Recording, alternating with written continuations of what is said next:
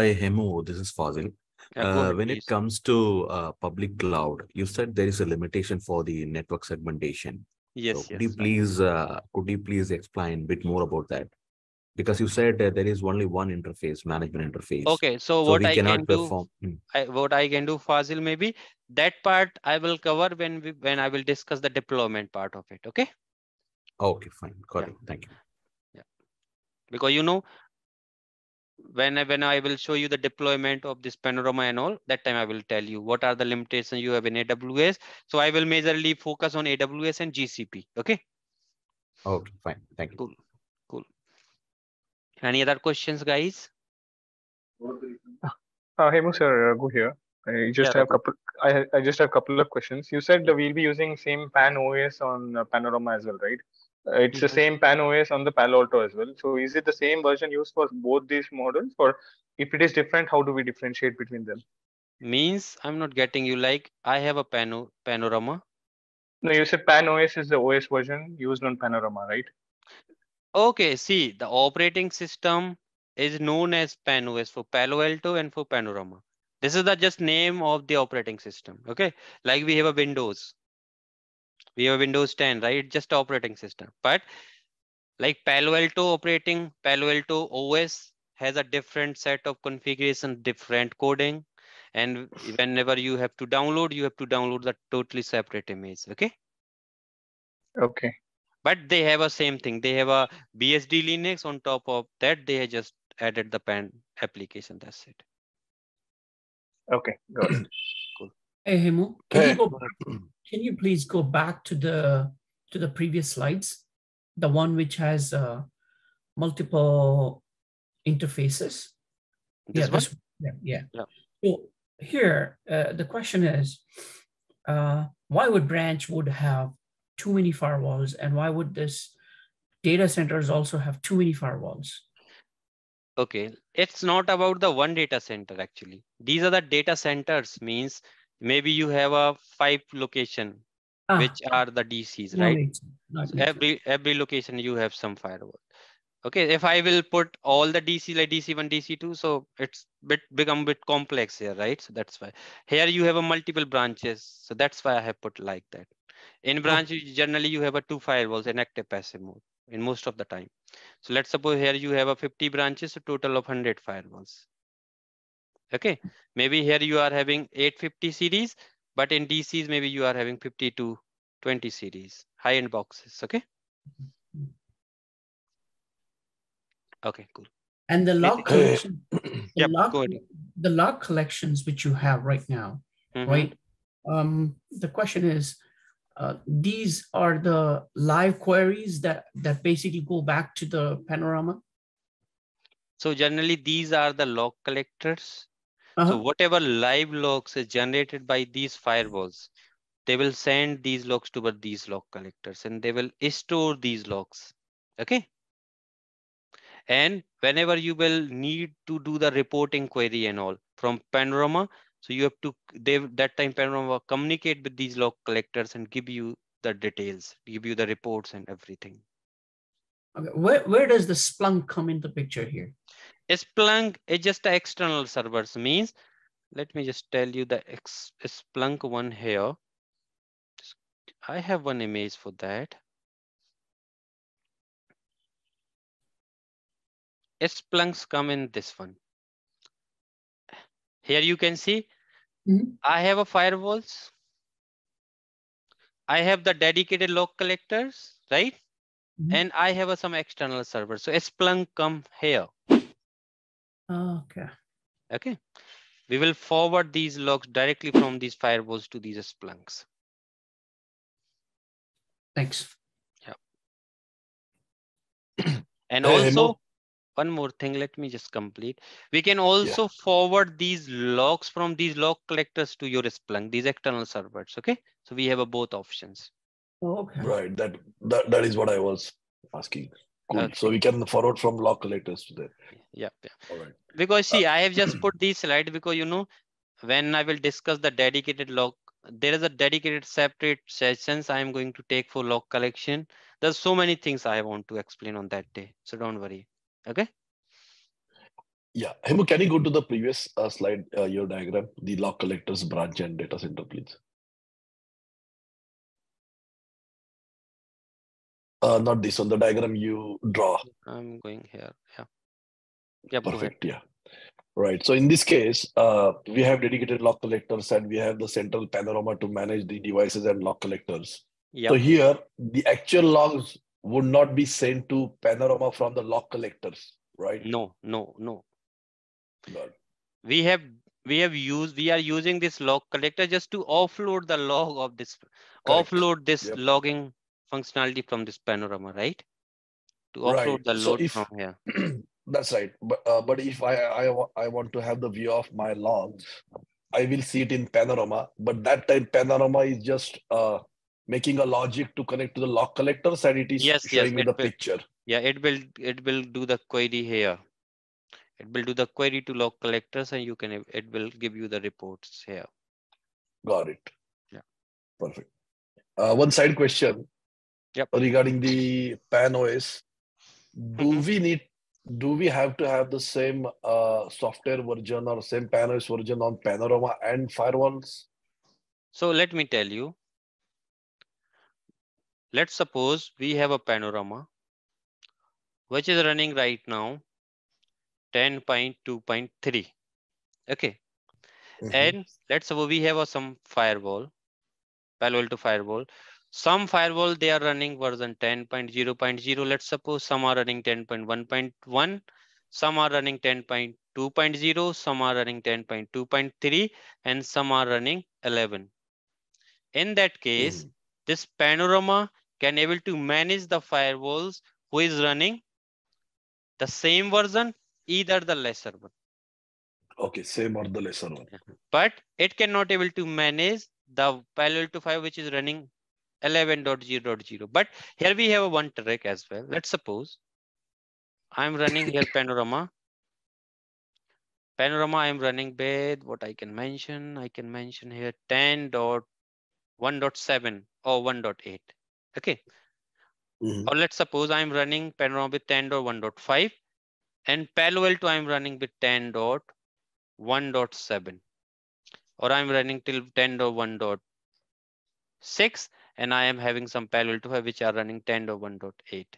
In that case, I can able to manage these two firewalls as well, but this one I will not. So I can able to manage higher than two versions. Okay. Higher than two versions. Okay. Yeah. All right. I will I will discuss these things in details. Okay. Don't worry. Yep. Thank you. Good evening, sir. Uh, uh, sir, uh, this is Hashim. Yeah, Hashim, go Uh, ahead. Yes, sir, I want to just little clarity about this diagram. Uh, In this diagram, we have dedicated log collector as well as firewalls, and we are managing through Panorama. Mhm. So when, if I want to see the logs for particular firewall, so always we need to log in in the Panorama to send the query for, to, towards log collect collector, right? Yes, if you want a log overview into the Panorama, then we have to do the query. Otherwise, if you want to see the live logs, see, let, just tell me one thing. If we will forward all the logs to Panorama, Yeah. what is the main purpose of getting all the logs in Panorama? Get the network visibility? Yeah, network visibility, and for the Oh. troubleshooting, for example, if you want to see the. man, man, Yeah. come on, man. For troubleshooting, we will see the live logs from firewall, right? Because you know, Yes, there is some delay always. There is some delay when you will not get the live logs right away into the panorama. There is always Yes, some delay, right? Yes. So if you want to do the troubleshooting, you have to look for that firewall. But this here we are sending the logs just for getting the network visibility, creating the reports and other tasks. Okay, that's the main purpose. Mm, Okay, fine. Okay, and here we are storing. Sorry. So always we need to send the query from the Panorama only. No need to log, log, no need to log in into log collector to check the. No, we, we we we will just get here CLI access. So we will not get much thing. Yes. Live okay, logs we can verify here on the firewalls. That's how we will do the troubleshooting, no? Uh-huh, okay, fine. Yeah. Good. Good. Thank you. Yeah. Uh, uh, Hemu, on the same note, uh, you mean from the panorama, whenever uh, there is a query, I mean, uh, it's like on demand. to get the Yeah, uh, information from the log collector, right? Yeah, yep, that's correct. Okay. And also you said there is uh, three modes, right? Legacy, panorama, management only in logger. So if I'm going uh, from legacy to panorama, I'm able to convert to management only. And from management, I can go back to the panorama, right? Yes, and right. from management, I cannot go back to, uh, I cannot uh, uh, go to the logger, right? Yeah, we if have a I'm- four modes here. From here we can. from logger, I can go back to panorama. Yes, from here we can able to. go. So panorama and management only, uh, it's inter interchangeable. Yes, yes, right, right. Okay, okay, okay. Got it. Thank you. So the- i- i- in this, uh, in this diagram, the, uh, the, the one which is shown as in panorama, if the mode is in panorama mode or the management only mode? This generally we will managed. Yeah, it should be. Man- I, I'm, I just run the name. This is the name of your device, Panorama. Okay.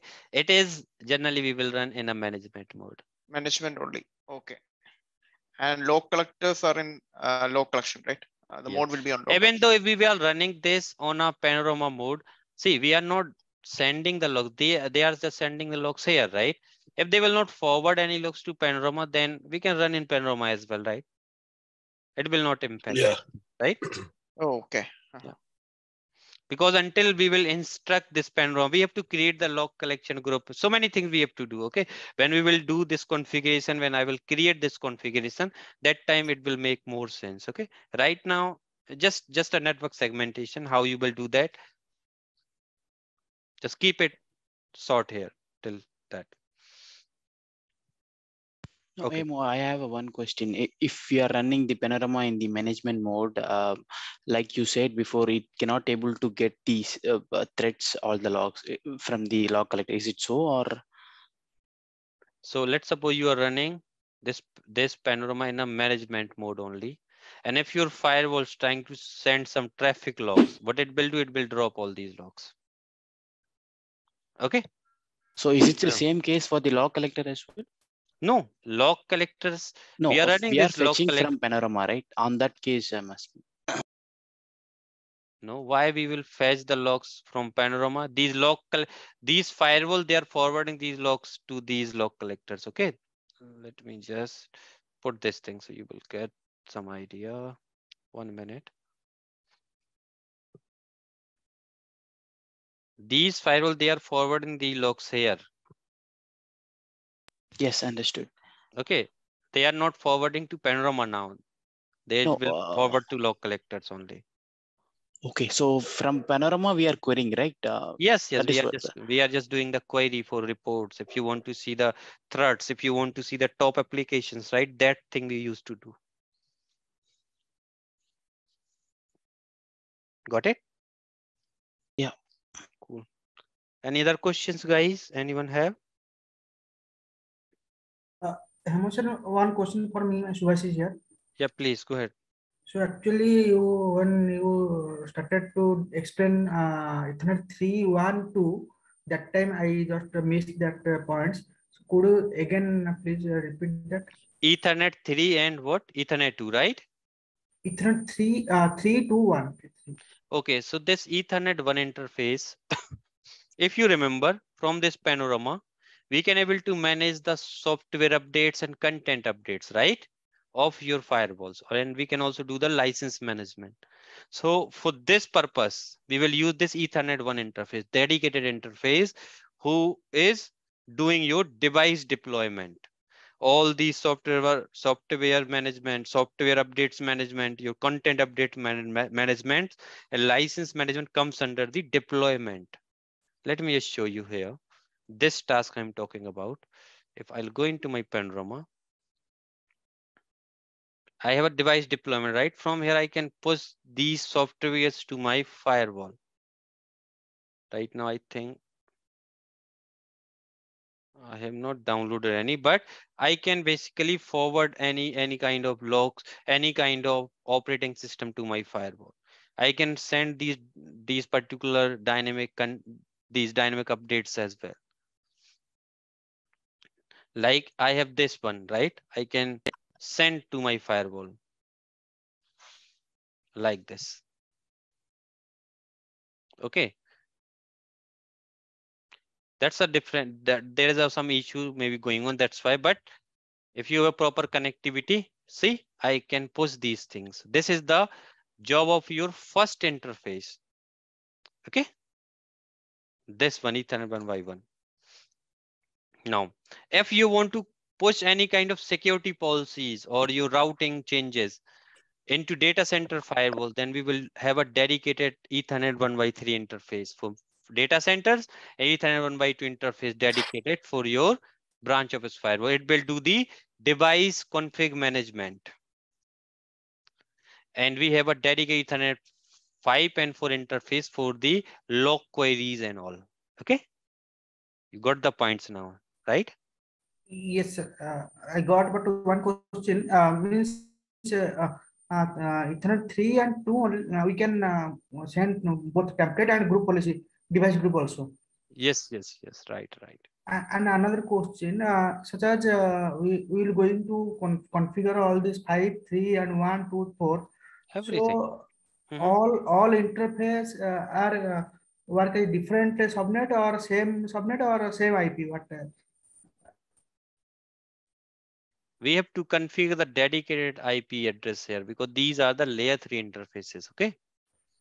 Means we need a separate segments, separate subnets for all these interfaces, separate IP address. Okay, uh, separate IP address but same subnet. not, not the same subnet, man. These are the layer three interfaces, right? In your router, let's suppose you have a router. Uh, you have F0 by 0 interface and you have F0 by 1 interface. And let's say here you have a IP address 10.1.1.100 slash 24. Then here you need a separate subnet, right? Maybe 10.2.100 slash 24. You cannot able to configure here 10.1.1.101. Are you able to configure this interface here? This IP address on F0 by 1 interface? No, right? Because they should be in separate layer 3 domain. Okay. Yes, I got it. Thank you. Yep. Guys whoever wants to drop from the meeting they can drop who don't have any questions who is having the questions guys just ask Yes, I have.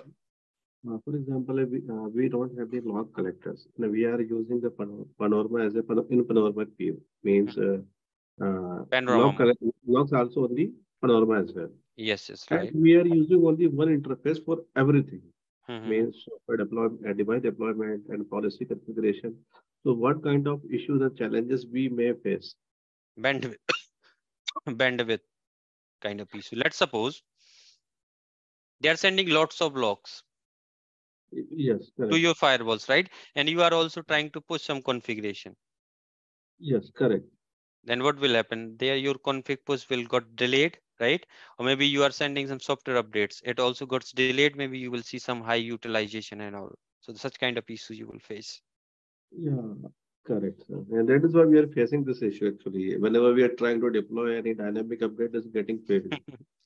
see let me tell you one thing Thanks a lot. One- You told one of my customers they are using this interface for everything for Okay. everything.